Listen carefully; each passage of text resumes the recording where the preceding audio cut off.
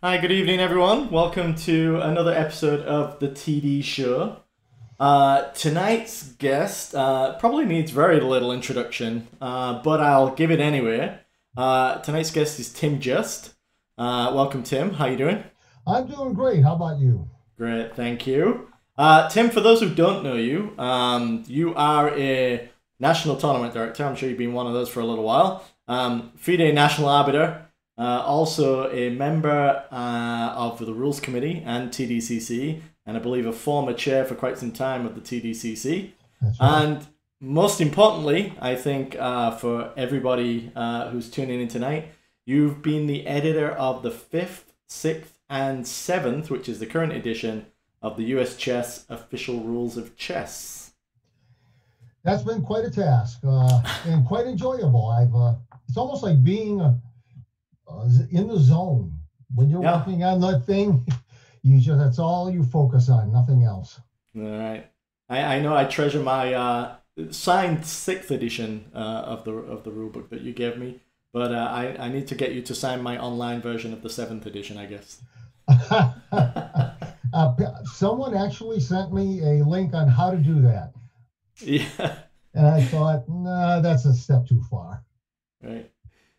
All right. So, um, for anyone who uh, didn't see um, tonight's topic, um, basically, we're not going to discuss uh, one specific rule like we have done the past couple of weeks. Uh, Tim is going to give some generic uh, TD tips. Uh, I've called it Tim Just's top 10 TD tips for purposes of titling the show for something. So, um, Tim, why don't we get into it? And I see we've got some some people watching the show here and ready to uh, ask questions. Brian Yang, I see, and uh, Enrique Huerta, uh, both national tournament directors. Um, so hopefully uh, we can keep them on their toes and they can learn something too. So let's get over to um, your first tip, Tim. Yeah, uh, a lot of these tips, by the way, come from the workshops I've done over the years, and they're just general ideas for the everyday TD. We're not looking to give you tips to become the greatest super Swiss star on the face of the earth running tournaments. And the first tip is post it and announce it. Uh, the most obvious thing is if you're going to do something that's a little different than the rule book, you ought to post it and announce it. You want everybody to know what you think they should be doing at that tournament. Like you might say, as a, a TD or an organizer, analog clocks can be used in preference to digital clocks. I wouldn't suggest doing that, but if that's what you want to do, you ought to let the people at your tournament know that. The other things that I've always found interesting over the years is you putting up signs about all kinds of information that people like uh, like the special tournament rules we just mentioned. Uh, you get asked what the what are the time controls? Well, should have a sign up and you just point at it. People can read that.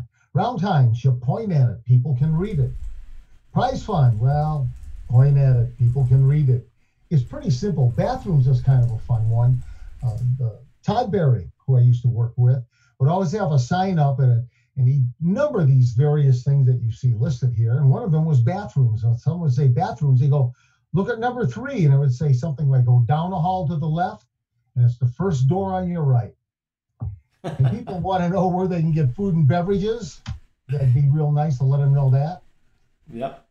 Um, well, uh, so so funny. I think um, so. I was think I was talking to you earlier about uh, Steve Immitt and uh, the CCA events and how much signage he puts up all over the place. Um, and as you were saying, you know, he's very experienced at this and he's been doing it for a long time. So there's probably something in that. Um, I think also you might need a sign that says "Please read the sign," because because a lot of people don't actually read signs. Uh, they get a little lazy. So sometimes it's easier to ask the TD. Um, yeah, most people love asking the TD. They don't read the signs very well. The times I've worked at tournaments where there were a lot of special tournament rules, I get asked a lot, and I point to the posting and they go, "Oh, I don't read that." Well, Uh, a, a question you probably don't get asked too often, Tim. Uh, I've been asked in the chat. Is is there, uh, in your experience, is there a particular color paper that is best to use for signage?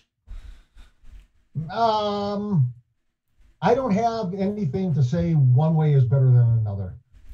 What a, some people who have things like uh, will print color signs for you, oddly enough. But if you can have SwissSys at your tournament, you obviously have Word and you can print things in color. You need a color printer. Um, I find that uh, often in, in, color, if you just take a magic marker and uh, underline something, or you get one of those highlighters, which you can also use your printer for, just highlight something and people will catch that real quick. Yep. Sounds good. All right, and uh, carrying on with this little topic, uh, I think I beat the uh, beat you to the punch with the second uh, little note here. Okay, wall charts. If you get those out early and often, people are happy. They want to see everybody who's at the tournament, even if they're not in their class, even if they're not competing with them for prizes. They'll notice that some grandmaster is there that they didn't realize was showing up, who happened to walk in the door and get a free entry because I like to give free entries to those grandmasters. They deserve it. They worked hard. But on the wall charts, they can see who their competition is. They uh, they can check whatever it is that makes them happy. A lot of people like to do wall chart pairings. They like to see who their opponent's going to be in the future. So after a round is uh, started, you can just put up the wall charts. Round two starts and everybody's faced off against each other. Put that wall chart up with all the latest information. People like that. Yep. And then moving on. Yeah, here's something. You need buy requests and withdrawals. If you post it, and you check it every round, you're not going to mess up too often. It's been my experience that people love to walk up to you as a TD and say, I want to buy on round three. Well, that's nice. And you'll tell them, yes, I can do that. And about 10 minutes later, you're going to forget. You're going to forget that who said that to you. You're for, going to forget what round it was in. Put those sheets out so people can help you and that helps yes. the whole tournament. You don't want somebody sitting there facing off against someone who had a buy or a withdrawal because they don't have an opponent. That's not right. right. And and remember to post them too, right? If you if you post if them, you yes, post, post them. That's going to come up a little later. Yep. Uh, players cannot get enough information. You know, it doesn't matter what you put up; they love it. Yes. Whatever you think as a TD you would like to know as a player, post it put a sign up with that. Uh, you might even want to start laying flyers out right near the result sheets. That way, you've been nice to other organizers and the players get to see what upcoming tournaments they might want to be involved in. Right. Good. Good stuff. All right. Uh, I think moving on. Second tip. I've learned this when I used to teach school, and I learned more teaching math than I ever did being a student of math through all the years I was in college. There's something about when you try to teach something to someone else, when you mentor someone else, you have to stop and think about what it is you want them to learn, what it is that the rule that you're trying to teach them or the technique you're trying to teach them really is involved with. What are the steps involved? And it's really nice for you and for the person you're mentoring and that you're teaching on how to be a TD. I've done this often. There's a there's a lot of people running around US chess right now that um, I taught to be a TD, and they. I'm really proud of the fact that they've all done better than I have. They are all better TDs than I have. Wayne Clark is one of the is one of the TDs that uh, I taught at the club level, brought him up through the ranks, and then he just he's zoomed way past me, and he's done a great job doing that. No, we have a lot to blame you for then, I think. Yeah. yeah, I usually find when I'm explaining something to someone, I, I sort of soak it in a little bit better. Um, you know, if I if I can if I can teach someone how to do something, then it means I've probably uh, at least you know mastered that, or at least I know what I'm talking about. It it does help you soak it in a little bit more. Yeah. So it's good and, and we're all happy to to help other TDs, um, the, you know, be, become better TDs, I guess. All right, moving on. Next tip. We're back to these again.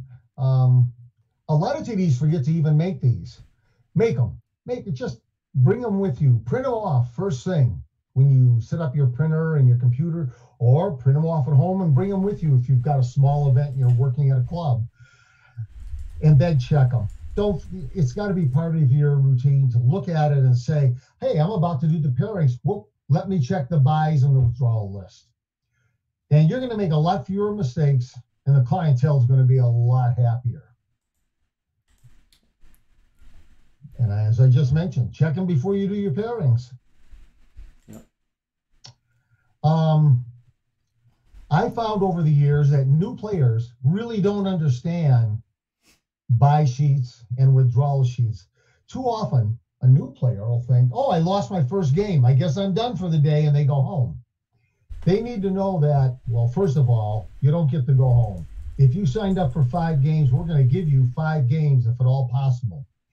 And new players need a little hand holding and showing them about buy sheets and withdrawal sheets is going to make their life easy and make the whole experience more pleasant for them. And they're more likely to come back. Oh, moving on. Yeah, here's something that you don't see too often, uh, given out as as a tip.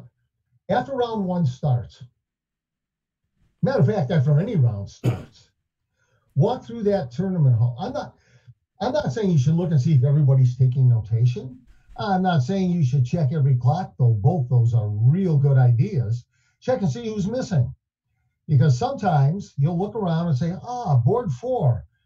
Let me look on my sheet. Board four is Tom. Oops. Tom was supposed to get a buy this round. I shouldn't have paired him. But now you know you can take care of whatever you need to do with that opponent who's just sitting there with no one to play. You can maybe find someone else for that opponent to play in a extra game section. You can at the very least say, opponent, Tom's not coming. I think you can go have some lunch. You can do that right now. You don't have to wait an hour. Right.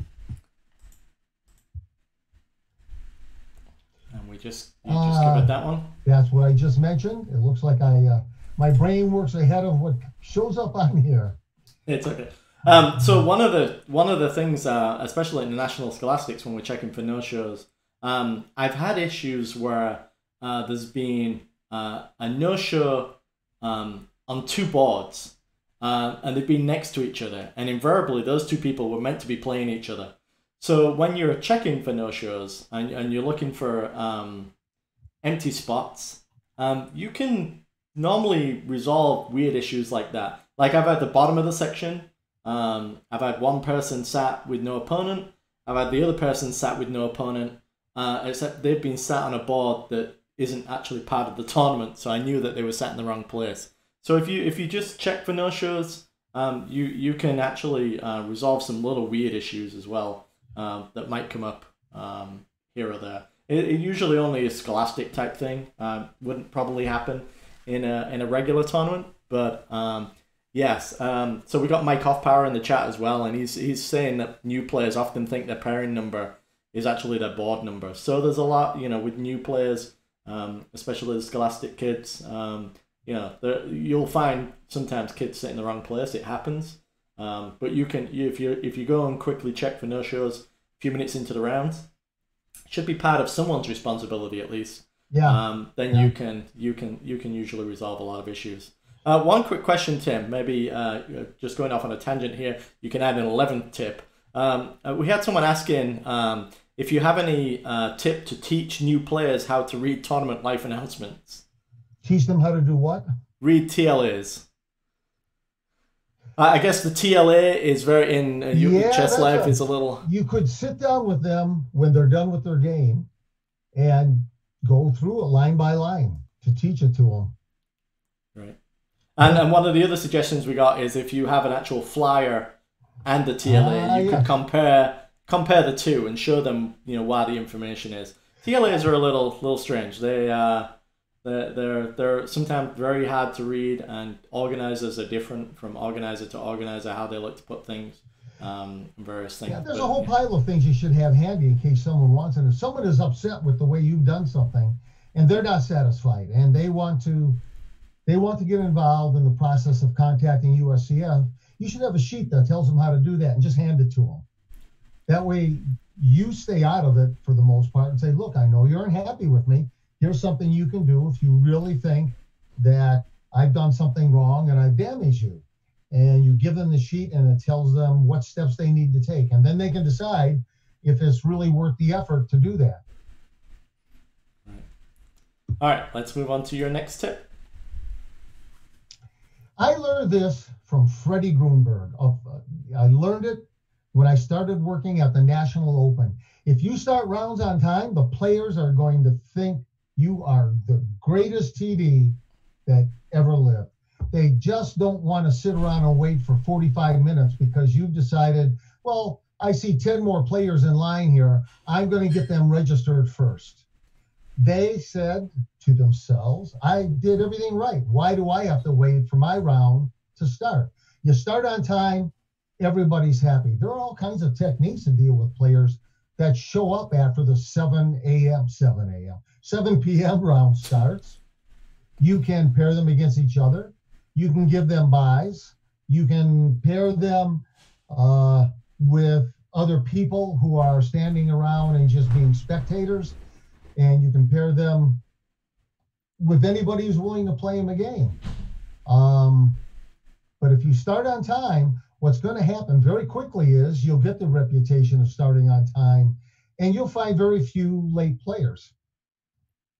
Yes, no, I, I, I definitely when I'm working the National Open, um, it, it's I like to try and start every uh, round on time. Of course, uh, the National Open is definitely one of those where it it is a um, sort of a must, and and the tournament is proud to say that it likes to start rounds on time, we always try to fit that in. Um, of course, when I work any event, um, it, it's it's always nice to start on time. Unfortunately, uh, you know, some some things always hold us up, but let's not make excuses. You know, get those rounds started on time. Very important. What yes, and Mike Hoffpauir saying it helps to get the parents out the room. Well, yeah, that's a that's a challenge in itself. I think. Yes, but. it is. Yes, it is. um, one of the one of the tales from the National Open, the starting rounds on time. Um, oh, very often the National Open is run during March Madness, and on board one in one of the sections, we TDs were looking around and neither player was there. We started on time. Now I understand one player not showing up, especially in Vegas. I don't. They might be on a winning streak. Uh, they may not be feeling very chipper at the moment. We found both these players sitting at the bar watching March Madness. Each of them were rooting for a different team and hadn't realized the round had started. And once we told them, I said, well, when this game is over, we'll come in and play the round. We made them come in at that point and play the round. Right. All right, let's move on to the next one. Here's a rule of thumb. I know you did a show on prize winners and splitting up prizes, and often you have to lump prizes together. And the rule of thumb is pretty easy. You can't have more prizes in the pot than you have players. So if you have two players and you have five prizes in the pot, there's an error somewhere. You can only put the two highest prizes that these players qualify for in that pot to split up. Now that prize might be first place overall and first place in the B class because the B class prize is higher than second place. Okay, that's what you do. Two players, two prizes. Now, the easy ones are one player, one prize. Someone went 5 0 and nobody tied with them. That's pretty simple. But 10 players can't split up 11 prizes. Something's wrong. You're going to have to take a prize out. Usually look for the way I've done it in the past is I just list the prizes from greatest to least, and I look at which prizes the players in the tie qualify for, and the biggest numbers get thrown right into that pot and grab your little nifty nifty calculator or spreadsheet and pay out those monies.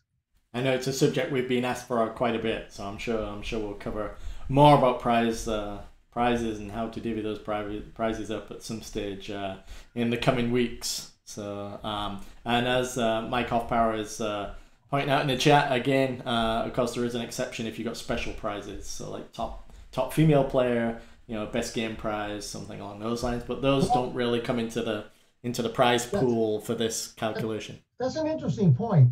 Female prizes, uh, person who drove the furthest, oldest male player, youngest female player. Those are special prizes. They don't get thrown in the pot, they're separate.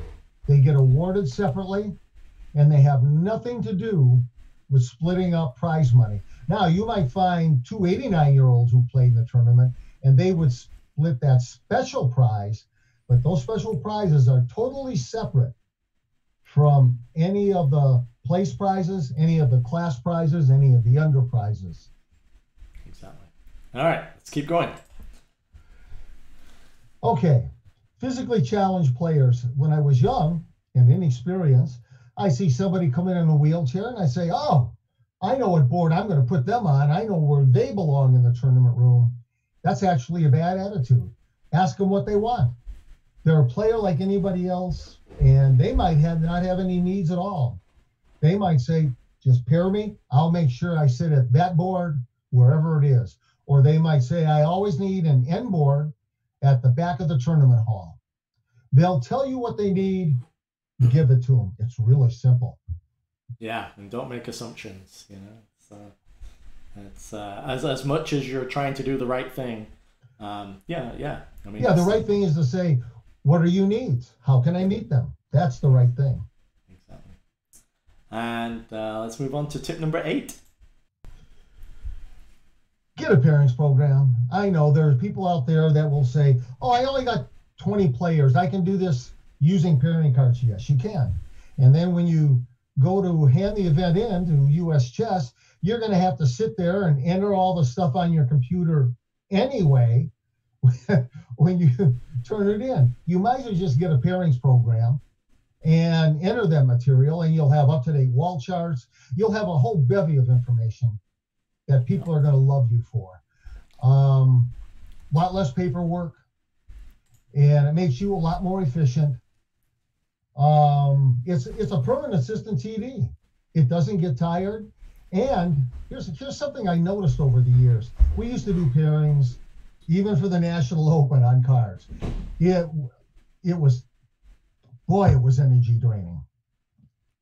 Soon as we got a TD pairings program, first of all, we were a little happier because we didn't have to sit there and by hand fill out cards. And less mistakes were made, and the players stopped griping about the pairings as often. They just knew that that program was not making any human errors.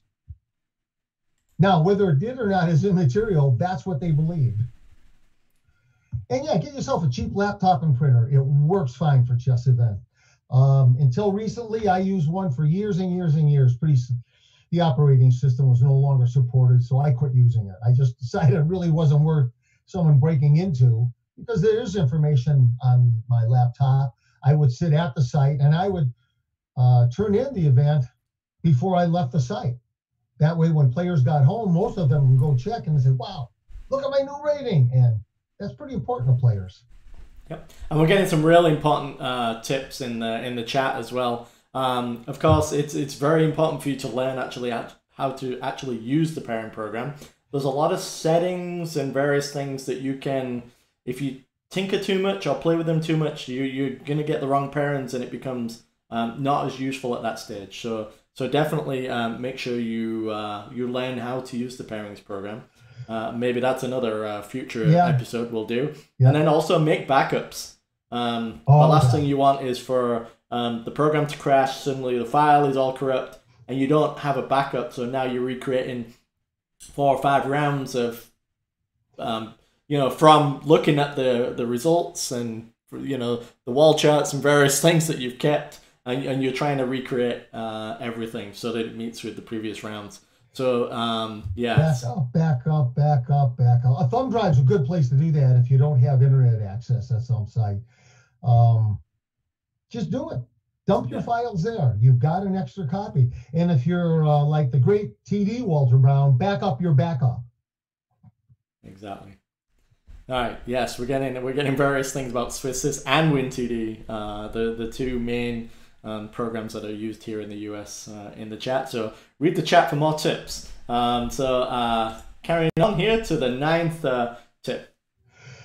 This is one that really is related to, you're going to see my head move a little bit over here. Uh, it's one of the seven highly effective habits. It's uh, first seek to understand. People have a need to tell their side of the story, even when you're sitting there listening to them thinking, but they're dead wrong. That's not the rule.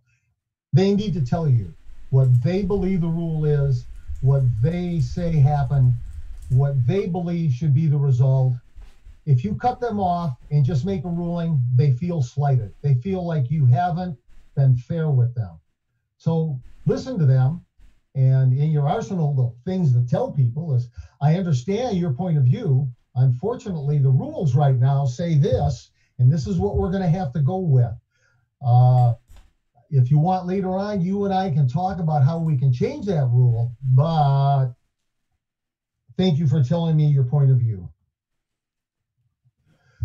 Yeah, that's what I just said. They, people just need to be heard. It's really that simple. Exactly. And they're going to love you for it. They're going to think you are, uh, if you start the rounds on time and you listen to their point of view, wow, thumbs up to you. I know that uh, I mentioned Todd Berry earlier at one event. Some guy came in with a new way to pair players, and he was convinced this was the fairest, most exciting way to pair a tournament. Todd sat there and listened to him and nodded his head, and the guy walked away perfectly happy, even though there wasn't a chance in heck that that program was ever going to be used and that pairing method was ever going to be passed by the delegates. And a couple of other good things pointed out in the chat. Tom Langland um, says uh, you know you should probably listen more than you actually talk. Um, and then uh, I believe that's Boyd Reed that's uh, tuning in. Uh, hi, boss. Um, says set ground rules for those discussions up front, um, and and don't interrupt them once once you've set those ground rules. If if that's part of the rules, you're letting them tell their side of the story. Let let them go ahead and uh, and do that and get the whole um, thing before you uh, sort of interrupt them. Yeah, I've, uh, I've I've seen that used real effectively uh, at various tournaments where I was part of the staff and the chief TD and had to settle some dispute and he'd say player A, tell me your side of the story, and he'd listen. And he'd say player B, and player A would try to interrupt and he'd say, I, I heard your side of the story. I need to hear the other side right now, please. Right. Um, and remember, there are there are always two sides to every every story. So there are usually white and black, and some possibly more sides to the story, uh, depending on what else is going on. See if I can get this right. There's a there's a saying I ran across uh, by Robert Evans, the movie producer. He said there's uh, I think he said there's three sides to the truth: your side, my side, and the truth. and somehow I, I think he nailed it. That's usually what happens. We all seem to color what happened through our own lenses in our brain. All right, and moving on to uh, the last tip of uh, tonight's uh, episode before we get on to the uh, trivia that I know everyone's been waiting for. Uh, oh, and yes, it yields less time dealing with uh, discontinued players in the future if you yeah if, if, if, you deal with them in the, correctly in the, in the first place. Um, go ahead, Tim. Someone's not going to like what you do. It's going to happen even though you know you're right, they're convinced they're right and and they are going to try to review a new one, as the saying goes. They're going to try to denigrate you, denigrate your ability. You know what? If you did the best you can do, that's all that can be expected. There's always going to be something or someone that they don't like what you've done. Okay, it's a you know the kind of country we're allowed to have different opinions but you're in charge. You have to run things the way you know is the right way. And if they disagree, like I said, hey, give them that little sheet and say, here, you can you can go to the TDCC and complain about the way I'm doing it. But I'm sorry you feel bad about this. I'm sorry we disagree. But can we move on to the next round? Can we move on to the next game? Can we move on? Yep. Oh, a couple of things there. But... Yeah. Um, speaks for itself. You're not going to please everyone all the time. And it doesn't mean you're a bad TD. It just means they think you're a bad TD. They're allowed to think that. It doesn't make it true, it makes it their opinion. Yep. And really, if you make a mistake, fix it. That's part of your job of running a tournament right. Fix your mistakes and then go on. and I think I remember um, I was speaking to a local TD who had made a mistake um, during one of their rulings, and, and they were really sort of eat up, you know, eating up inside about it, and you know, you um, as as a chief TD, you know, you you bring them through it, but it making a mistake happens. Um, Yeah. We all make mistakes. Um, the uh, the exams that you take um, to get to high level of, of a TD you, is eighty percent is the pass mark. So one in every five ruling you can get wrong. Um, it doesn't mean we want you to get them wrong, but everybody makes mistakes. And um, someone once told me that um, all it means if you're an NTD versus a um, you know someone who's not an NTD is that we've just made probably made more mistakes than than the other level TDs because we learn from those mistakes. So usually, if you if you make a mistake, that's something that you take with you for the rest of your life, and you never want to make that mistake again. And normally, if you've had a bad episode with it, you don't make that mistake again. So um, you know, put it right. Um, yeah, just Yeah. as as we're being told in the chat, just about every mistake is fixable. Um, Well, so What I've said in the past is NTDs probably are no better than club TDs, except for one thing. They have experience and they have a whole toolbox of ways to fix their mistakes because exactly. they're going to make them. But they they've got all sorts of little tricks they can use to make it right. And uh, it takes a long time to put a lot of tools in that toolbox, or maybe not. Some people are just naturally good at fixing things. Right. No, it definitely uh, it does help if you if you made some mistakes.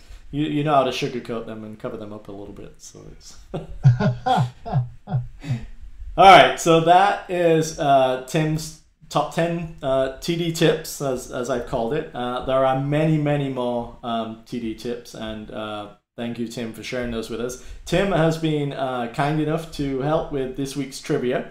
Um, so I'm um, guessing that nobody is gonna score five out of five tonight. Um, so you know, um, I, I don't think I'd put money on that, but uh, let's let's see if that's true. So let's move on to the trivia, and uh, see how everyone does here. So let me uh, do a couple of quick things over here, and technical issues. All right, we are good. So let's move on to the trivia, and you'll see tonight uh, the answers are not A, B, C, D. Uh, they are one, two, three, four, and uh, let me go ahead and announce that you can vote one, two, three, four. So anyway, so Tim came up with these questions. Who was the first parent and then their child to both become NTDs? Uh, is it one, Alan and Tom Priest? Two, uh, we got Tom in the in the chat. Uh, Tom and Jordan Langland. Three, Myron and Will Thomas. Or is it four, Mike and Betsy Zake? So go ahead and type one, two, three, or four in the chat, and we'll see how we're doing. So we have uh, 33% of people have gone for one, and 66% of people have gone for four, and nobody's gone for the middle two yet. Uh, and I noticed Tom did not vote for himself. That's that's probably a good sign. Uh, and Brian Yang is saying this isn't fair. This was before he was born. Yeah, possibly. All right, let's go ahead and close that off. We had eight votes. Twenty-five percent of people um, said uh, one, and seventy-five percent of people said four. And the correct answer is Number four. number four, Mike and Betsy Zake. So um, I know Betsy is still very much an active. Uh, Mike is uh, retired. Uh, Mike, yeah, Mike recently retired and said, "That's it. I've got to pull the plug. Uh, my age and everything else in life. It's time for the young people to take over." right. So let's uh, go ahead and set up question number two here. So I, I guess uh, six people um, got that one right. So let's uh, go ahead and announce this one open for vote. So, who was the editor of the third edition of the US Chess Rulebook? Was it one, Tim Just, two, Tim Redman, three, Carol Jarecki, or four, Bill Goichberg? Ooh, we seem to have a consensus so far in the chat. There's a lot of votes for two, which would be Tim Redman.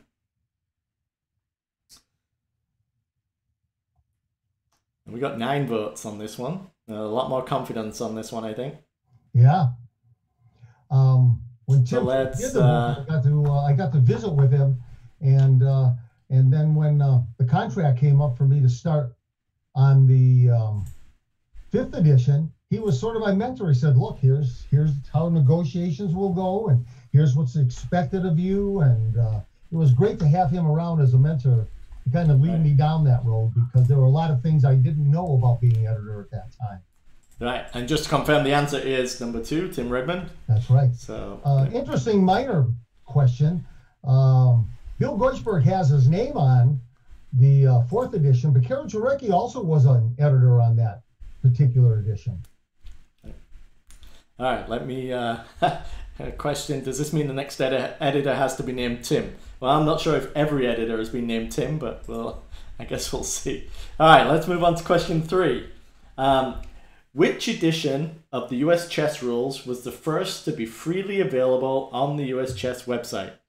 Was it one, the seventh edition, two, the sixth edition, three, the fifth edition, or four? Wait, what? The US Chess Rules are available online for free? Let's play the Jeopardy music here. yes. Do-do-do. Exactly what we need. Some Yeah. some music. and some people are yes. Well, I don't know if number four can be an incorrect answer. I guess yeah. you're asking a question with answer a question with a question. Um, so we got various um, various answers here. So it's uh, ah someone's questioning rule changes. No, no, no, no. We're not talking about the rules changes. We're talking about a full edition of the US chess rules, meaning chapters one and two. People are changing their votes now. All right, we're still taking a couple of votes. So let's go ahead and uh, close that off and announce the voting results. So we had 55% of people say 1, 22% of people say 2, 11% say 3, and we also had 11% say 4. And uh, What? the yeah. well, that somebody's learned something new tonight. Yes, the US chess rules are available on the US chess website for free. And that started with the Seventh edition. seventh edition, the latest edition. I, Yeah, uh, so- I've, I've had NTDs do no- you know vote for number four. They they say what what do you mean the rules are available online? Uh, for those of you who aren't sure where they are, if you go to the U.S. Chess site main page, scroll down to that big black area at the bottom, and uh, look in the middle column. I think it's at the top of the middle column. If not, it's very close to the top. You point and click, and a beautiful picture of yours truly pops up, and then you can point and click what you want. You can get just chapter one, just chapter two, just chapter 11, or all three packaged together in a download. They're all PDF format. Uh, some new material was just put up the other day, but it was minor stuff. It wasn't a rules change, but there were uh, some corrections the editor had to make me because there were some uh, there was some new information about clocks and I had to correct a few other little minor things like there were periods missing and something was italicized that shouldn't be. The kind of stuff that nobody notices except editors. Right. All right, let's move on to question number four, and I think we're going to get back towards TD uh, realm here. So let's uh, let's go ahead and open this one up for the voting uh, while I read it. So when can a TD substitute an analog clock for a digital clock? Um, is it one when no other digital clock is available? Two, never, you can't do that. Three, is it if white started the game with a digital clock and black arrived late but wants to use his analog clock before determining a move? Black's choice. Or is it C? Uh, is it four, the same as in oh, three? Guess I didn't change that. Um, except only if the time control does not have an increment or delay. Uh, yes, some people are saying this is an easy one. and let's uh, Well, see. good. We'll see if they uh, the easy ones. we we seem to have a consensus on the uh, answer by everybody. yes, Mike Hoffpauir is saying FIDE never. Um, Never. and I'm not I'm not sure if that's a a a, um, a serious vote or not. But anyway, let's let's close off the poll and we'll announce those. Uh, uh, so, yes, I, yeah. Well, the, the questions used to be A, B, C, D, and I guess I forgot to change that. So, um, ninety percent of people said one, and one person said four. So, uh, uh, what what would be the right answer there, Tim? Well, interesting the way you did it. It's when there's no other digital clock available. Exactly. So the correct answer But number four, let's give that equal credit. You know, uh, Well, I think the new rule says that a digital clock is always preferred over an analog clock. oh So- yeah, always, always. If you read the, the rule book the way it was changed a couple of years ago, Yep. essentially, I don't know why we even mention analog clocks except that the delegates think it's important, and I guess some people still use them. they still. Or at least they try to. So. All right, and moving on to question five, the last question of the night, as usual. Uh, so let's see. Um, why would a player call their own flagfall? Um, one, there is never a good reason to call your own flagfall. Two, to prevent their opponent from filling in the moves on their score sheet to claim a win on time in non sudden death. Uh, three, to prevent their opponent from filling in the moves on their score sheet to claim a win on time in sudden death time controls. Or four, to save time and get the next round paired.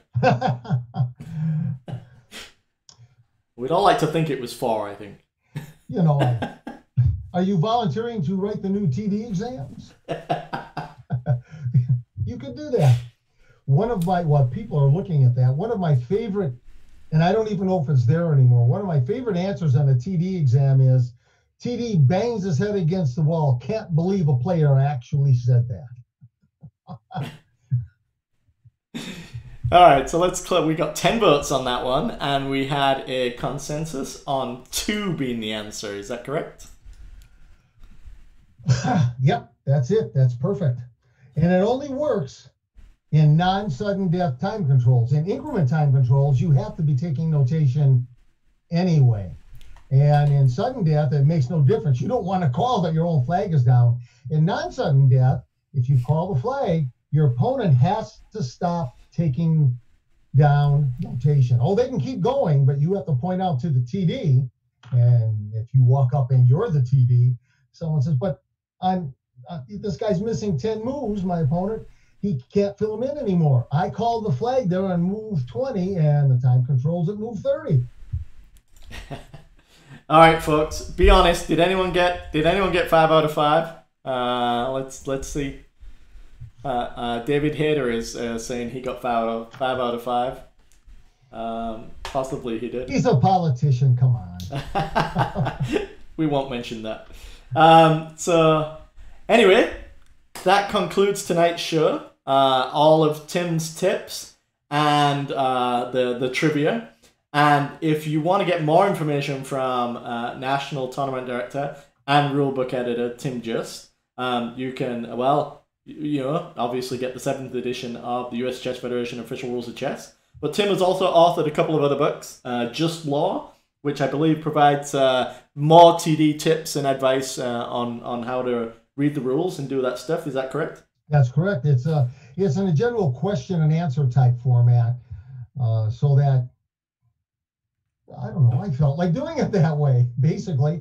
Um, actually, the the impetus for that book is from the um, from another fellow that was going to publish it for me, and uh, he died, so I had to publish it myself.